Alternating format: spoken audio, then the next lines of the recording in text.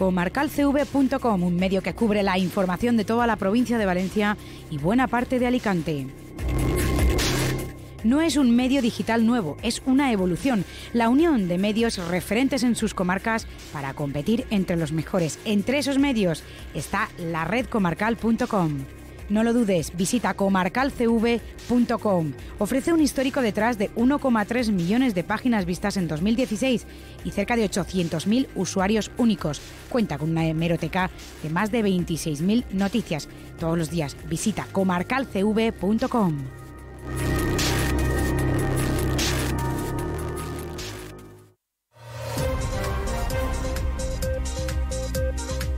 Radio Buñol. Servicios informativos.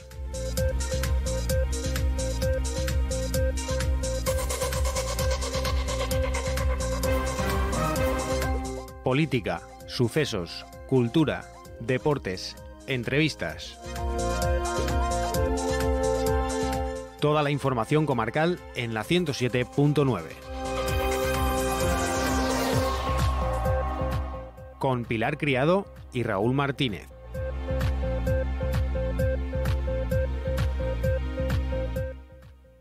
Bienvenidos a una nueva edición de los servicios informativos de Radio Buñol correspondiente hoy viernes 22 de noviembre de 2024. Comenzamos como cada día con nuestra lectura de titulares. Buenos días, bienvenidos. Arrancamos. Las ayudas al empleo rural de Labora permiten a los ayuntamientos de menos de 2.000 habitantes contratar personal. La Generalitat destina 7.406.035 euros a 190 municipios en riesgo de despoblación y entre los que se encuentran afectados por la riada. La Generalitat activa un plan urgente para retirar los vehículos siniestrados de las campas municipales por razones de seguridad. La Diputación de Valencia crea un fondo de solidaridad provincial para los municipios y personas afectadas por la Dana. Buñol continúa con la reconstrucción de caminos devastados por la Dana. El Ayuntamiento de Buñol organiza diversas acciones por el 25N en la localidad. Nueva sesión de la Escuela de Familias en Buñol para tratar el tema del bullying. Comisiones Obreras ofrece asesoramiento con puntos móviles en municipios afectados por la Dana. El Movimiento Democrático de Mujeres de Buñol organiza un conjunto de actividades por el 25N.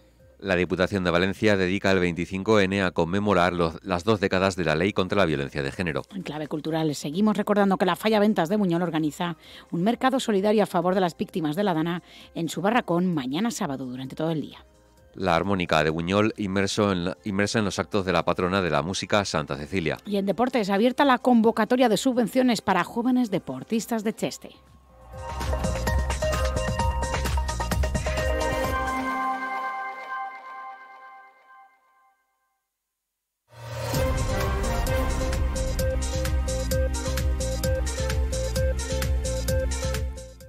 Pasamos ahora a ampliar nuestra información.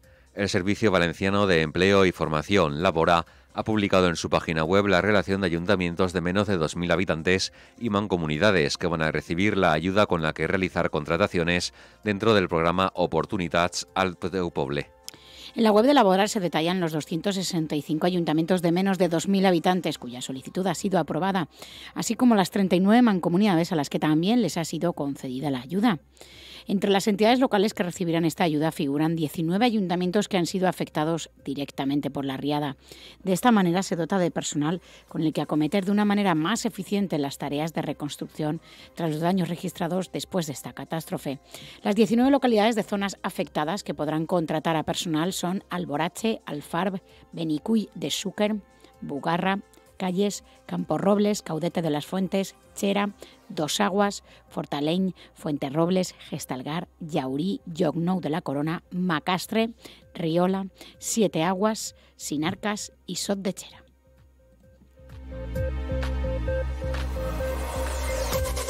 Mediante este programa de apoyo a la contratación se pretende conseguir que las ayudas lleguen a las poblaciones pequeñas y, por otra parte, ofrecer una oportunidad de adquirir experiencia profesional, además de trabajo, para las personas residentes en estos municipios afectados por el despoblamiento. Con la cantidad adjudicada, las entidades podrán contratar durante al menos seis meses hasta dos personas para reforzar el personal con el que afrontar las necesidades que pueda tener la entidad local. El Servicio Valenciano de Empleo y Formación destina más de 10 millones de euros a esta iniciativa, de los cuales más de nueve van dirigidos a ayuntamientos y casi dos a las mancomunidades. Con estas ayudas se estima que más de 700 personas desempleadas que viven en alguno de estos municipios despoblados podrán acceder a una oportunidad al empleo.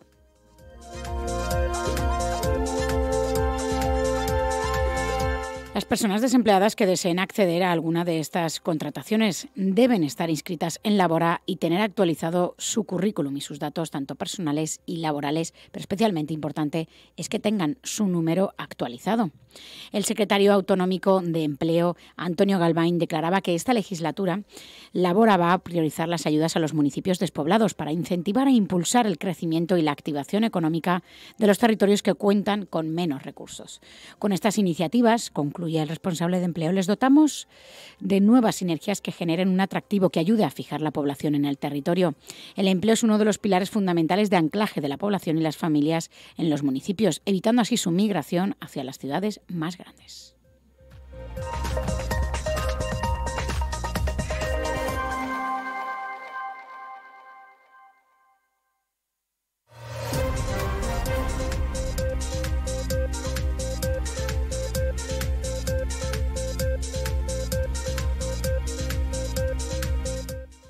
La Generalitat ha asignado 7.406.035 euros a 190 municipios en riesgo de despoblación repartidos por el territorio valenciano, según la resolución que publica el Diario Oficial de la Generalitat Valenciana sobre la asignación de la línea específica del Fondo de Cooperación Municipal para la lucha contra el despoblamiento de los municipios de la Comunidad Valenciana, correspondiente al ejercicio 2024.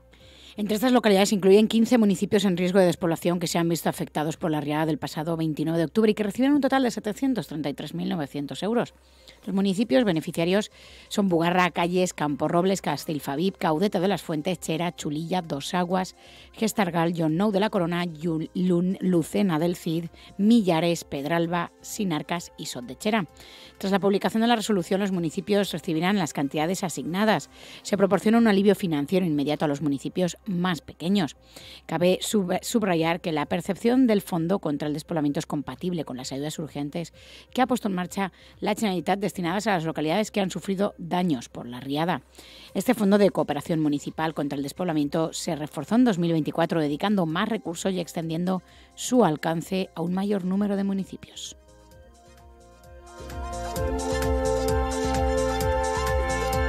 Además, la resolución que serán nuevas perceptoras del Fondo Antidespoblación en 2024, como Anna Antella, Bejís, Bellús, Beniarrés, Benilloba, Benimarfuy, Volvaite, Caudete de las Fuentes, Lajana, Relleu, Sellent, Sueca, Sumacárcer, Torre de les Masanes y la Vall de la Guar.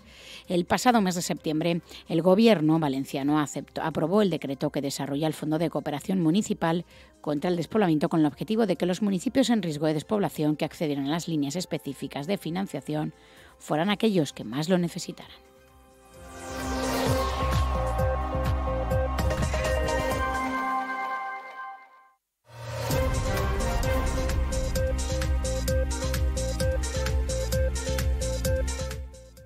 En respuesta a la necesidad inmediata de abordar la situación de los vehículos siniestrados por las inundaciones, la Generalitat ha activado un plan urgente para la retirada de las 60 ubicaciones en las que se encuentran actualmente y donde están generando riesgos de seguridad y salubridad para las poblaciones afectadas. A pesar de que la competencia en esta materia recae en el Gobierno central, que tiene que declarar estos vehículos como residuos municipales para su posterior traslado, la demora en la reglamentación estatal ha llevado a la Generalitat a actuar de manera urgente mediante la elaboración de una futura orden que establecerá la evacuación de aproximadamente 120.000 coches que han sido depositados en campas municipales. Este sistema, activado por la Consejería de Medio Ambiente, Infraestructuras y Territorio, garantizará su traslado a sitios seguros, una adecuada custodia y trazabilidad, permitiendo así llevar a cabo los trámites necesarios para las peritaciones correspondientes que por el momento avanzan a un ritmo menor del previsto.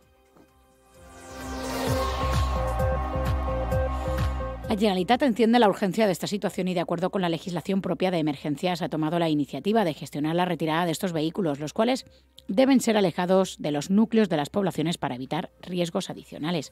Hasta la fecha se han estado habilitando campas para acumular los vehículos, donde los técnicos del Consorcio de Seguros han procedido al peritaje necesario a través del cotejo de matrículas y números de bastidor, a fin de gestionar las indemnizaciones correspondientes. El primer paso en este proceso es la declaración de estos vehículos como residuos municipales mediante un Real Decreto, lo que permite posteriormente su traslado a instalaciones de desguaces para su correcto tratamiento. Mientras espera la aprobación de la regulación estatal, la Generalitat, a través de esta orden, activa una solución transitoria para comenzar con la urgente retirada de los vehículos.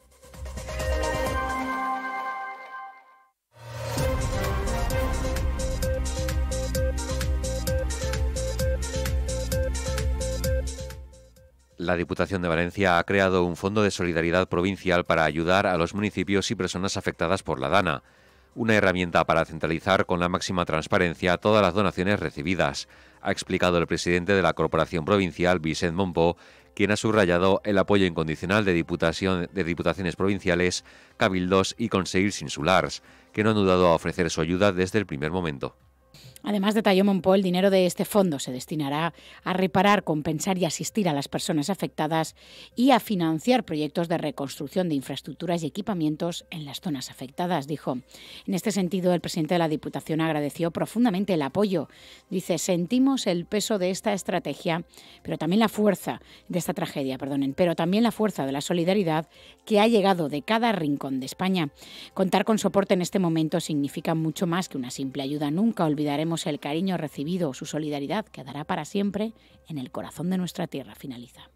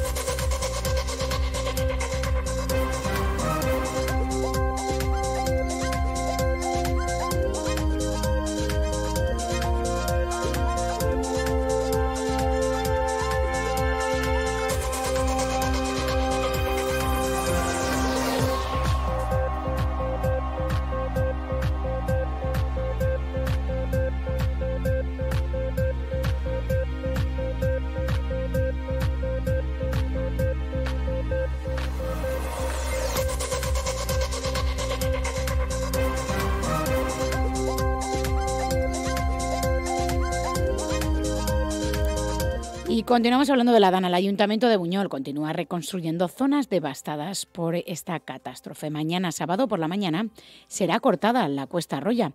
De esto y demás asuntos relacionados con la Dana en nuestro municipio, va a hablarnos el primer teniente de alcalde, Sergio Galarza, que lo tenemos preparado al otro lado del teléfono. Hola, buenos días, Sergio. Hola, buenos días. Bueno, pues bienvenidas a nuestros servicios informativos. Novedades. Mañana, sábado por la mañana, estará cerrada al tráfico rodado, ¿no? La Cuesta Arroya. Cuéntanos por qué. Sí, nada, mañana hemos decidido, una vez ya reparado el puente de la República, eh, ya se puede transitar con un poco de normalidad por abajo, por la parte de abajo del pueblo. Mm. Entonces mañana vamos a meter camiones y palas y vamos a empezar a retirar todo lo que todo lo que fuimos despejando durante la, tarde noche del martes y miércoles. Ya está seco, ya podemos circular con normalidad por abajo, pues entonces mañana para no molestar tránsito de colegio, instituto, médico, pues nada. Entonces eh, cerramos Ruiz Pons, Cuesta Roya, para que me entiendan todos los ciudadanos, y dispondremos a la limpieza de, todo, de todo lo que todo lo que concede toda la carretera. Vale, eso será, supongo que lo hace Brigada. No, no, sí, a ver, mi brigada estará echando una mano, luego tenemos una empresa que de aquí del pueblo que estará con el camión y las máquinas pues cargando y haciendo viajes con la ayuda también de, Domingo Laredo y Cimsa, que nos ayudan allí en, la cantera, pues a ir tirando los, las tierras caídas. Muy bien. El siguiente paso en cuanto a Cuesta Roya supongo que será ir reparando todo, ¿no? Sí, claro, ahí estamos con Diputación y Consellería y es un poco, a ver el tema de, los jardineras, el tema taludes, a ver cómo, cómo trabajamos ahí, a ver cómo lo hacemos. Y estamos en negociaciones si no lo van a hacer, si lo tenemos que hacer nosotros. Pues eso, un poco a ver en qué sentido o en qué línea vamos a tener que ir trabajando para empezar a, condicionar pues lo que se nos ha caído. Y también zona de arriba, del hortelano y todo eso, ¿cómo va? Pues nada, ahí tenemos el problema de que antes de ayer la Diputación de Valencia nos comentó que tienen que cerrar la carretera del Cuco, del Cuco, perdón, de del Monte de la Cruz, porque en el derrumbe que hubo eh, hay algún peligro, algún riesgo de, colapso de la, de la vía. Eh, estuvimos hablando con ellos, han habilitado como mínimo un carril de emergencia, por si acaso algún vecino de la Serrana o con distantes tiene algún problema, pues que puedan acceder por ahí enseguida pero con eh, precaución porque la Diputación tiene miedo o riesgo de que, de que esa carretera fracture y haya riesgo de que, de que rompa.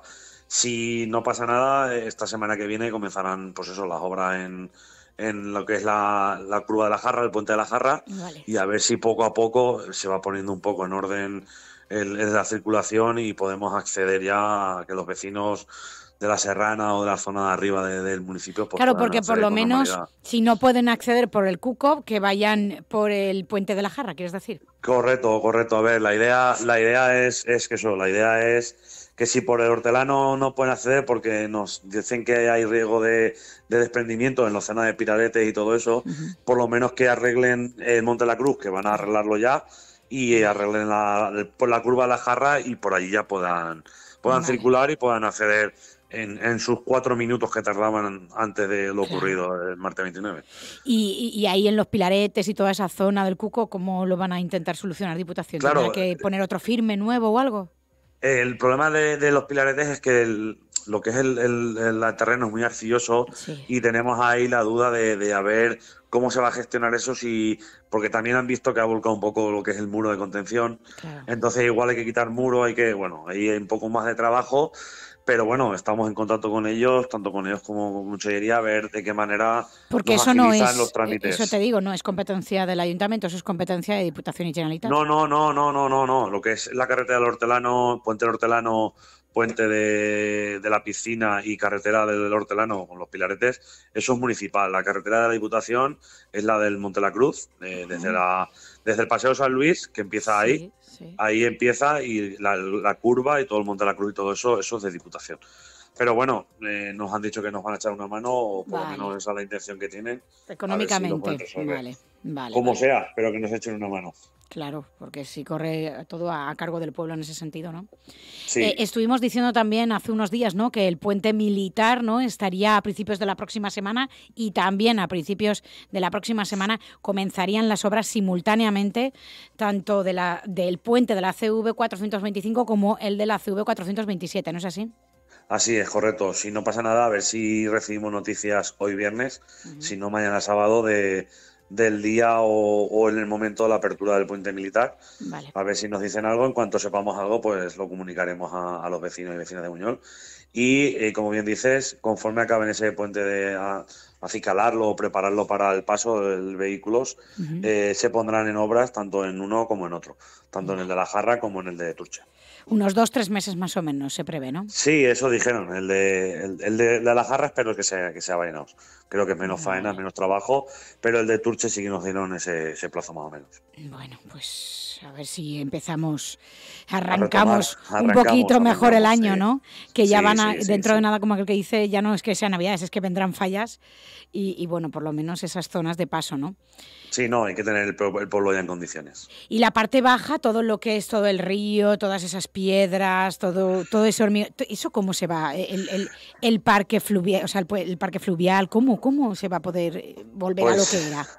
Pues eso es el, el INRI de todo esto. Ahora mismo eh, Confederación no, ha emitido informe, no ha dicho nada.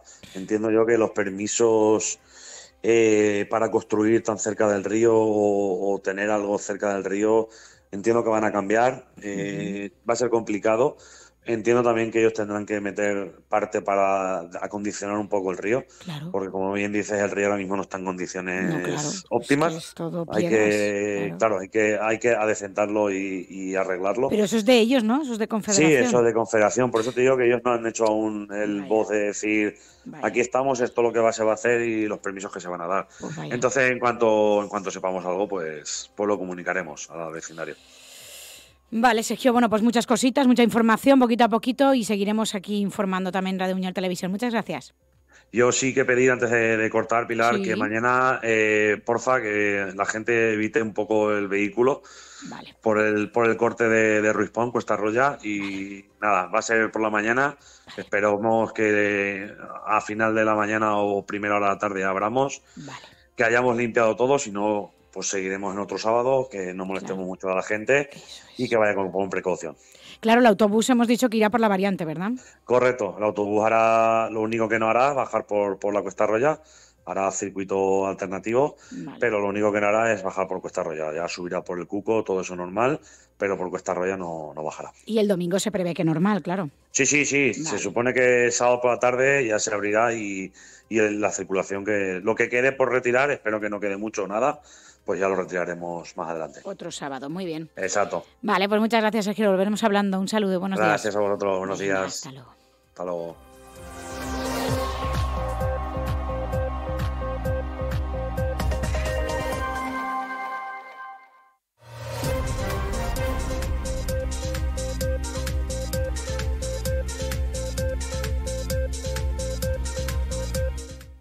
El Ayuntamiento de Buñol, junto con la Mancomunidad y la Unión de Prevención de Conductas de, la, de Comunidad Activas, organiza este próximo martes 26 de noviembre la Escuela de Familias.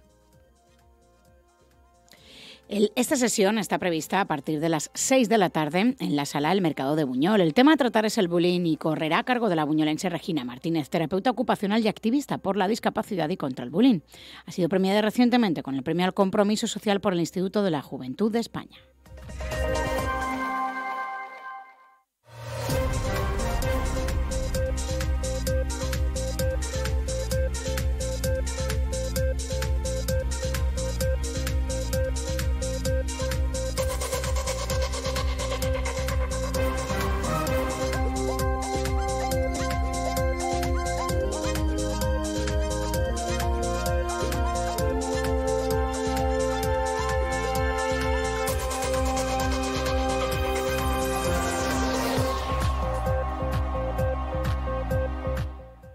Con motivo del 25N, Día Internacional de la Eliminación de la Violencia contra las Mujeres, el Ayuntamiento de Buñol ha preparado un conjunto de acciones. Este domingo, 24 de noviembre, de 10 y media a una y media del mediodía, habrá un taller de defensa personal en el pabellón Pablo Cusi Sierra del Planel, dirigido por Antonio Muñoz, jefe de la Policía Local de Buñol.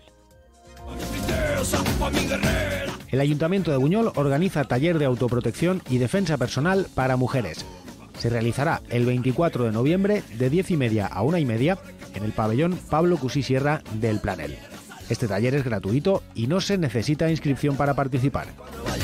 Concejalía de Igualdad y Concejalía de Deportes del Ayuntamiento de Buñol.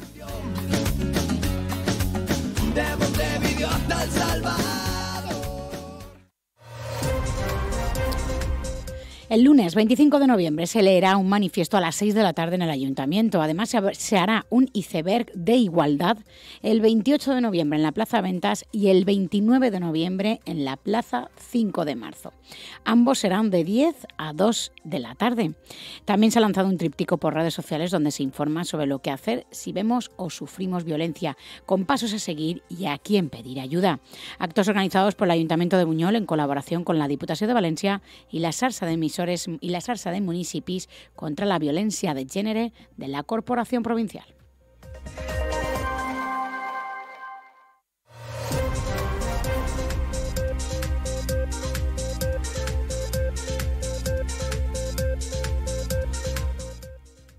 Tras el paso de la Dana, que ha afectado a múltiples municipios del País Valencia, la Organización Sindical de Comisiones Obreras del País Valencia, Comarcas de Interior, ha puesto en marcha un dispositivo móvil de apoyo para las personas trabajadoras que han sido afectadas por este fenómeno meteorológico adverso.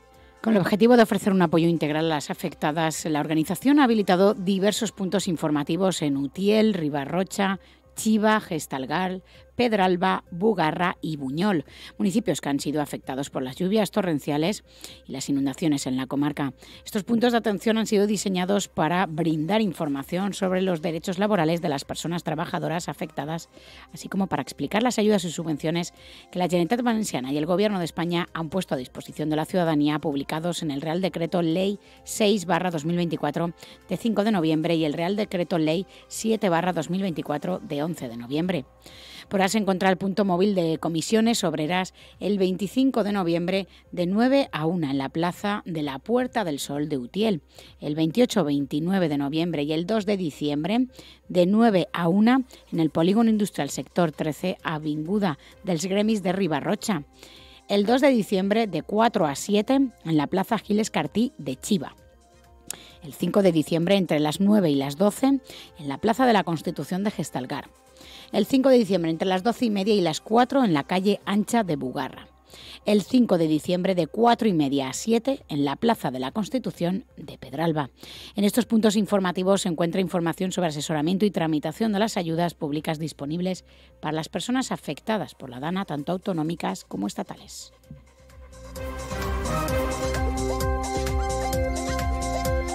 Además, también se pueden resolver consultas en materia laboral, orientación sobre cómo gestionar situaciones laborales, tales como suspensiones temporales de empleo, retribuciones no percibidas, permisos retribuidos y otros aspectos relacionados. Comisiones Obreras hace un llamamiento a la solidaridad y a la colaboración entre las instituciones y la ciudadanía, con el fin de minimizar los efectos de esta tragedia para la clase trabajadora y facilitar su recuperación. El sindicato reafirma su compromiso en la defensa de los derechos laborales de la clase trabajadora y continuará realizando esfuerzos para facilitar el acceso a los recursos y ayudas necesarias en estos difíciles momentos.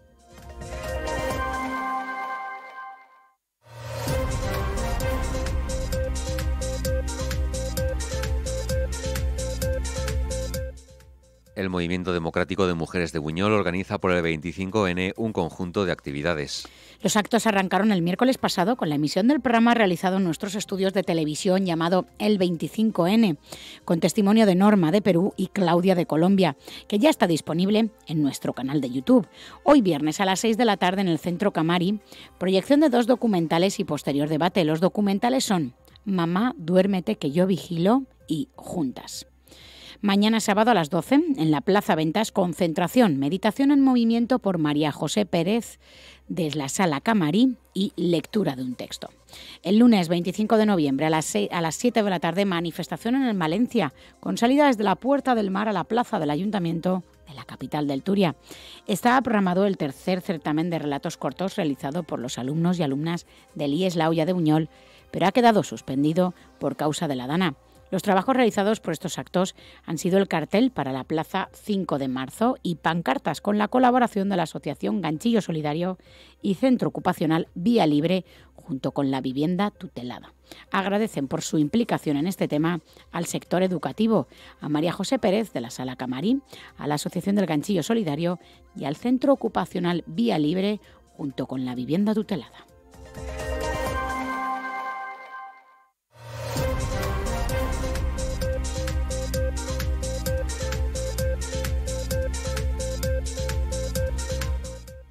La Diputación de Valencia dedica este año el 25N a conmemorar el vigésimo aniversario de la Ley contra la Violencia de Género, una ley que ha salvado vidas y ha permitido a muchas mujeres salir de ese círculo de violencia e identificar las situaciones para poder denunciarlas. Destaca la vicepresidenta primera y diputada de Igualdad, Natalia Enguis, quien informa a los ayuntamientos de la provincia que dispondrán de un cartel autoeditable para sus actos con motivo del Día Internacional de la Eliminación de la Violencia contra la Mujer.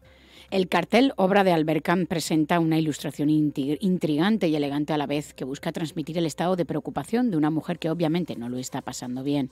La imagen es parte de la campaña provincial con motivo del 25N, que tendrá su acto central el próximo lunes con la lectura del manifiesto contra la violencia de género por parte de representantes de la institución. Apunta Natalia Anguish, hay determinadas luchas que no pueden detenerse ante contratiempos o catástrofes, como es el caso de la Dana. En tiempos de crisis, las víctimas de esta lacra social presentan una mayor vulnerabilidad, si cabe, debido al aumento de los niveles de violencia provocados por la ansiedad y la frustración que pueden generar estas situaciones en los agresores. En este contexto de crisis, la Diputación se ha puesto a disposición de la Generalitat que trabaja para dar respuesta al incremento de las situaciones de conflictividad y fruto de convivencias forzadas, como ocurrió durante el confinamiento en pandemia o el incremento de los problemas familiares a consecuencia de episodios como la Dana. La vicepresidenta Anguish destaca el papel de los ayuntamientos en la lucha por hacer frente a las violencias ejercidas contra las mujeres. En su opinión, son la puerta de entrada a la atención y protección de las víctimas a través de las policías locales y los servicios sociales. Un total de 237 consistorios forman parte de la red de municipios protegidos contra la violencia de género de la Diputación, que coordina este trabajo conjunto para ofrecer la mejor respuesta a las víctimas y la ciudadanía. Dicen, seguiremos eh, impulsando medidas preventivas de discriminación y acciones integrales que sirvan a los municipios para cumplir con los objetivos de igualdad y eliminación de violencia contra las mujeres, a través de campañas de formación, coeducación y colaboración con las concejalías de igualdad y el movimiento asociativo local, explica la responsable provincial. A consecuencia de la DANA, el área de igualdad de la Diputación ha cambiado las fechas de su feminario, que finalmente se celebrará los días 9 y 10 de diciembre. En la línea de la campaña del 25N, la séptima edición del Congreso Feminista conmemorará el vigésimo aniversario de la Ley de Violencia de Género, una conquista que es resultado de la lucha feminista, del trabajo de un feminismo que también ha impulsado otras leyes como la de la igualdad, la del divorcio y la del aborto.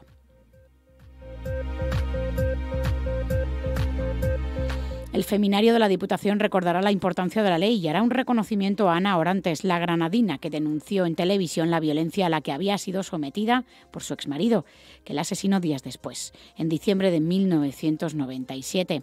El caso conmocionó a la opinión pública y fue el detonante para considerar eh, la violencia de género como un problema social y para impulsar la reforma del Código Penal.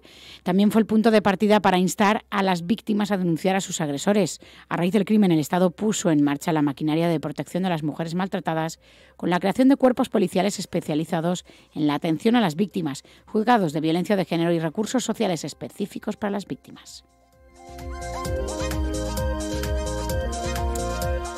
En palabras de la vicepresidenta, finaliza el feminario, es un encuentro que nos sirve para analizar dónde estamos en materia de igualdad y los retos que debemos afrontar.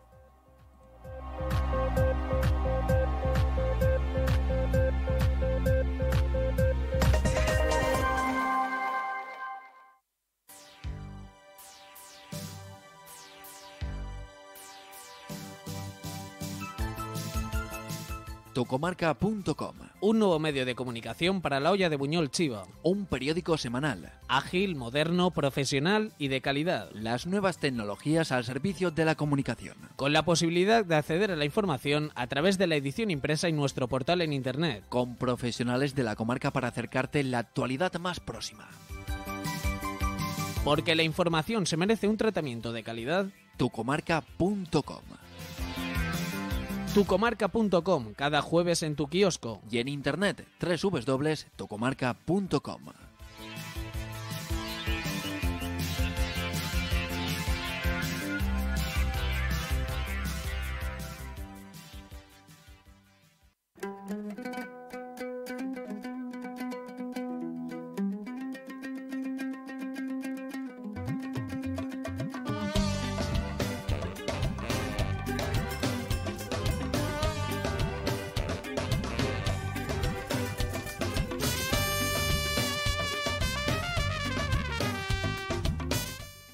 Abrimos ahora apartado cultural. El primer mercado fallero solidario tendrá lugar en el barracón de la Falla Ventas mañana sábado durante todo el día. Todo lo recaudado va destinado a los afectados por la dana. La Falla Ventas organiza mañana, mañana por sábado, la primera edición del Mercado Fallero, cuya recaudación irá íntegramente destinada a víctimas y afectados por la dana. Este mercado se realizará en el Barracón de la Falla Ventas de 10 y media a 2 y de 4 a 8 de la tarde. En este mercado habrá puestos de artesanía, de indumentaria valenciana, merchandising fallero, exhibiciones, venta de buñuelos y chocolate por la tarde y mucho más. Participarán varios comercios y establecimientos de Buñol y de fuera de la localidad. El objetivo es destinar la recaudación los afectados por la dana para intentar aliviar un poco la situación que están atravesando especialmente para la falla Ramón y Cajal de Chiva, que su barracón ha quedado destrozado.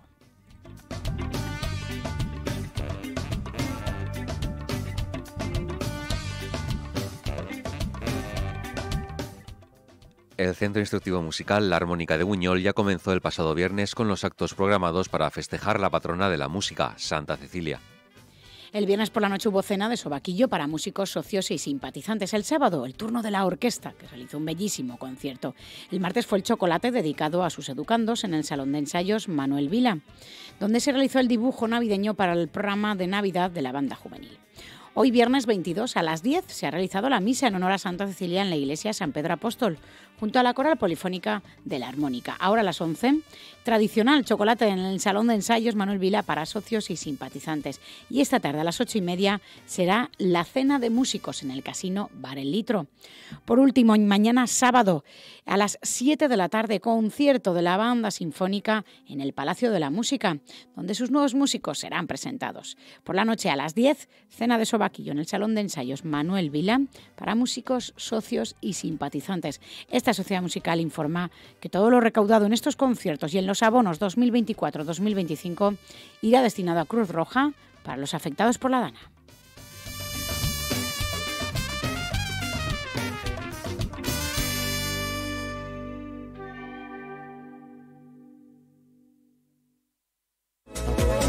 Hoy un clic, el nuevo diario digital de la olla de Buñol Chiva.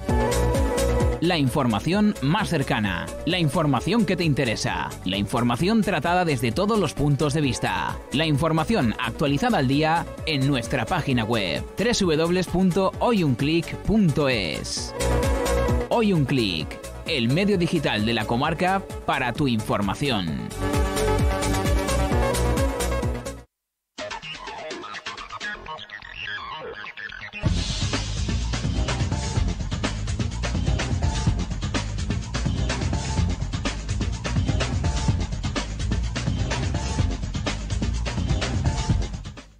Abrimos ahora apartado deportivo. La Concejalía de Deportes de Cheste ha impulsado la elaboración de una convocatoria para la concesión de subvenciones en régimen de concurrencia competitiva a jóvenes deportistas destacados de la localidad.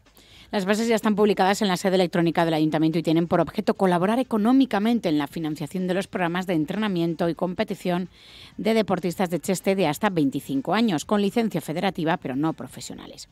El total de las subvenciones sumará 2.200 euros que serán repartidos entre las personas aspirantes que hayan obtenido mayor puntuación según los criterios de baremación establecidos en las bases, que estipulan 650 euros para el primer puesto, 550 euros para el segundo, 450 para el tercero, 250 para el cuarto y 150 euros para el quinto y sexto. Las solicitudes se podrán presentar hasta el 2 de diciembre por vía telemática, a través de la sede electrónica mediante una instancia dirigida a la Concejalía de Deportes o presencialmente en el registro de entrada del Ayuntamiento de Cheste.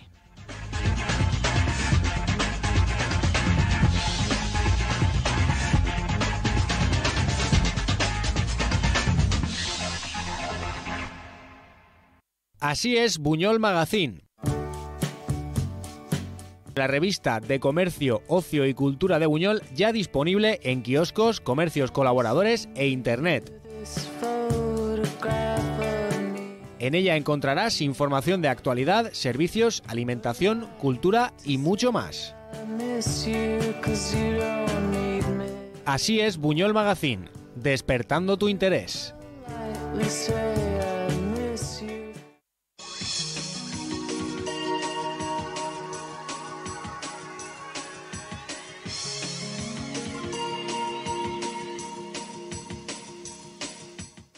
Conoceremos ahora la previsión meteorológica para las próximas horas y fin de semana gracias a nuestro compañero Conrado Hortelano desde el Observatorio Meteorológico de Buñol. Día desde el Observatorio Meteorológico de Buñol. La noche pasada la temperatura mínima ha sido de 14 grados positivos, ayer la máxima de 16. A primera hora de la mañana la humedad ambiente del 74% y el viento mm, de 60 kilómetros por hora. El pronóstico para la jornada de hoy viernes, mañana sábado y el próximo domingo, todo apunta que tendremos cielos con nubosidad variable y las temperaturas, tanto máximas como mínimas, no experimentan cambios destacables. Los vientos moderados de poniente, las temperaturas mínimas a primera hora de la mañana en las poblaciones de la comarca. 14 grados en Mochilidad Buñol, 10 a Sierra Cabrera Parque Eólico y 7 Aguas, 13 a Macastre, 15 a Chiva y Sieste, 16 a Calicanto y 15 grados positivos a Godelleta y Turís. L'any passat la temperatura mínima ha sigut de 14 graus positius, és la màxima de 16. A primeres hores del matí la humitat ambient al 74% i el vent de 60 km per hora. El pronòstic per la jornada d'avui divendres, demà dissabte i diumenge, tot apunta que tindran ser la nuvolositat variable i les temperatures tant màximes com mínimes no patiran canvis significatius. El vent moderat de ponent. Les temperatures mínimes a primeres hores del matí en les poblacions de la comarca.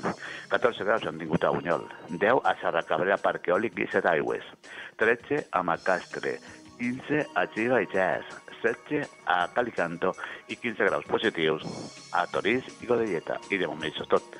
Des de l'Observatori Meteorològic de Bunyol, bon cap de setmana i fins dilluns.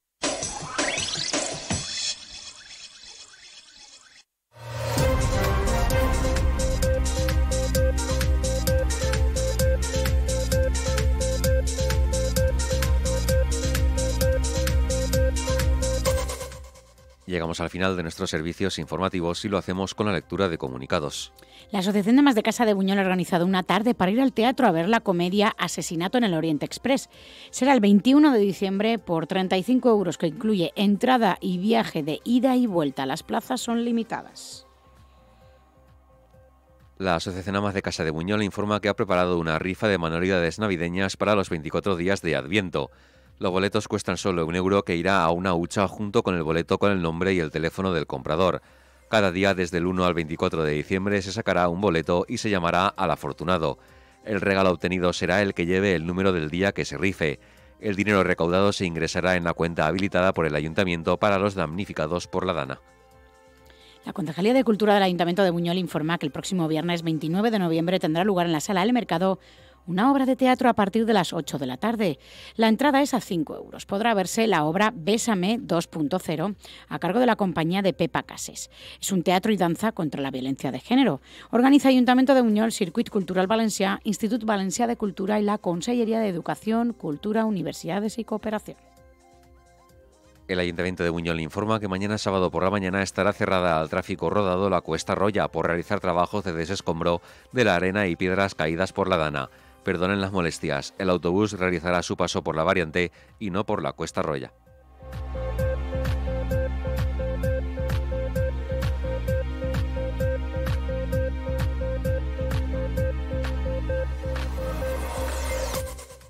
Tras la lectura de comunicados ponemos punto y final a esta nueva edición de nuestros servicios informativos a nivel local y comarcal.